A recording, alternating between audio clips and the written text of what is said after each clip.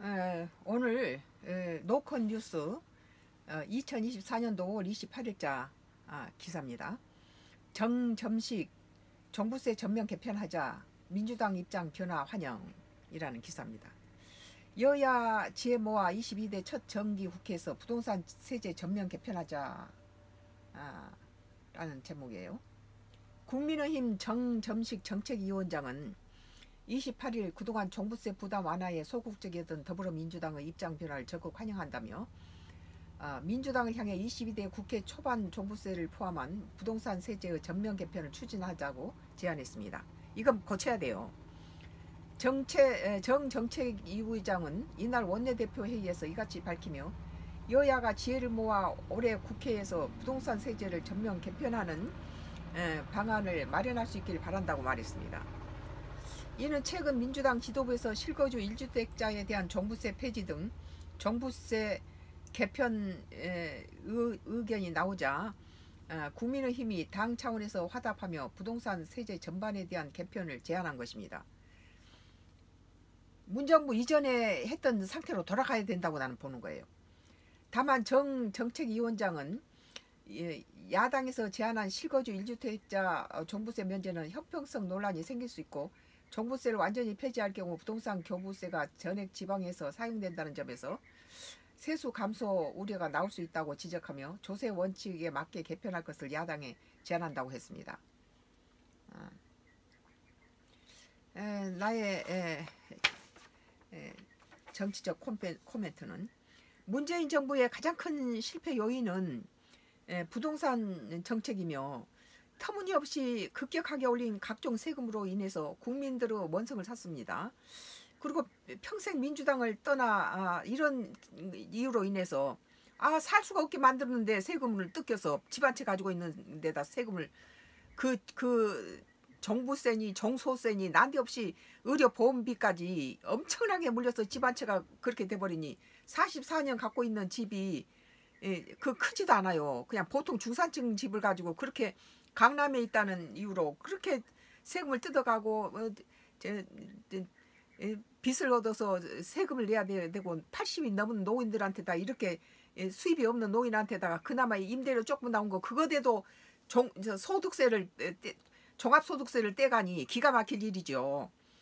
첫 번째 민주당을 거부한 이유는 개인적으로 일가구 일주택자는 국민들에게 적극 권유하면서 집 없는 서민들도 집 가질 수 있는 일가구 일주택자가 에 대한 배려가 문정부에 들어와서는 40년이 넘도록 살아온 일가구 1주택자 특히 강남 땅값이 뛰면서 물가대로 오른 것에 종부세, 종소세, 의료보험, 재산세 등 온갖 대여섯 가지 세금으로 어, 뜯기는데 어, 참그 수입 없는 80이 넘은 노인에게 에, 뜯어갔습니다. 이것은 부동산 투기 않고 44년을 보유한 일가구 2주, 1주택자에게 강남 죽이기 문정부의 보복적인 세금 인상의 희생자가 바로 강남의 집안채 소유자들이었습니다. 강남 집안채 가지고 있으면 다 이게 뭐, 뭐 종부세, 종소세, 뭐 지금 이번에도 종소세 나왔더라고요. 다 이거 빚어서 내야 돼요, 이게 다. 어, 모든 그, 그 노인들한테다가 자식들을 의료보험도 자식들이 내주던 것을 이거 집값을 올려놓으니까 전부 이게 의료보험까지 달달이 이게 내야 되는 게 노인들을 골 빠진 일이죠. 몇 푼 안 되는 종소세까지 무례하며 재산세의 그 폭등에 빚은 참 늘어나서 세금 빚을 내서 세금을 내는 그런 피말린 사태로 민주당을 다 거부하게 됐습니다. 아 광주에서도 고가 아파트 뭐에서는 전 저기 주민들이 전부 민주당 안 찍었다고 그러잖아요. 어, 그래서 이재명은 또 집을 두 채 가진 자, 자, 자는 다른 사람이 가져야 할 뭐 이재명이는 또 뭐 그 그 당시 선거 당시에 뭐 토, 지세까지 뭘 또 어떻게 올린다고 또 뭐 주장을 했죠. 그러니까 민주당은 그저 그냥 어 중산층 뭐, 어, 또그 돈 많은 재벌들도 너무 뜯어가지고 그 투자 의욕을 상실하니까 어, 여러 가지 저기 어려움이 당쳐죠. 그 공, 대기 대기업들이 다 밖에 나가서 벌어서 다 국민 먹여 살리고 국가 경제를 저기 그거 하는데 뭐 강남 사람이나 대기업들 뭐 뭐 돈 많은 사람들을 다 저기 활동을 못 하도록 손을 묶어 놓고는 뭐 그렇다 해서 서민들이 잘 사는 것도 아니요. 그렇게 되면은 예, 건축도 다 못하게 만들어 놓으니 그 오히려 집값만 올랐죠. 집값이 오르니까 저 젊은 사람들을 결혼도 안 하고 어 다 문재정부 때 가장 저출산이 극도에 달했고 세계 1등 할 때가 어, 문정부 때예요. 이런 모든 것들이 다 사람들이 공평하게 일가구 일주택은 갔대. 그것이 집값이 수십 년 살다 보면 집값이 오른 것을 어떻게 하겠어요?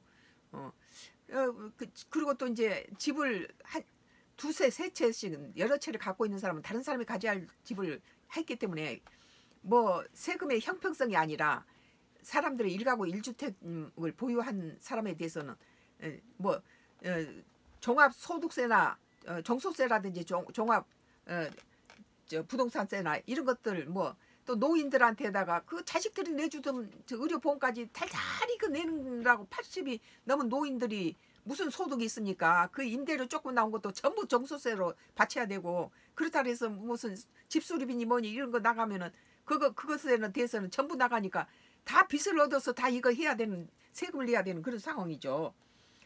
에, 참 어, 일가구 일주택은 부동산 투기와 거리가 멀고 그것은 저기 그 값이 10억짜리 집두 채 가진 거하고 뭐 강남에 몇십억짜리 하나 한 채하고 같냐 이러는데 강남에 몇십억짜리를 44년 갖고 있는 사람이 그것을 팔아서 어, 저기 이득을 남겠어요? 그 살고 있는 자기 집은 일가구는 그대로 보존해 줘야 되고 이 가구 갖고 있는 사람은 한 채는 자기가 살고 한 채는 투기하는 목적이죠. 어, 자, 투기해서 그것 그것이 수입이 들어온 것은 남는 재산이지만 일가구 일주택은 그게 아니잖아요. 어? 그걸 팔아서 적은 집으로 갔다가 이렇게 줄여가야 되는 상황이고 강남에 살다가 강부로 이사를 가야 되는 사, 상황이고 경기도로 밀려나야 돼. 그러란 소리 아니에요 이게. 세금의 형평성으로 갑자기 세금 폭탄을 물린 것은 민주당의 에, 에, 정권을 계속 이을 수 없었던 이유가 사유가 된 겁니다. 이번에 국민의힘당에다가 표를 몰아준 것은 바로 이 부동산 정책에다 세금 폭탄으로 인한 것이라고 나는 봐요.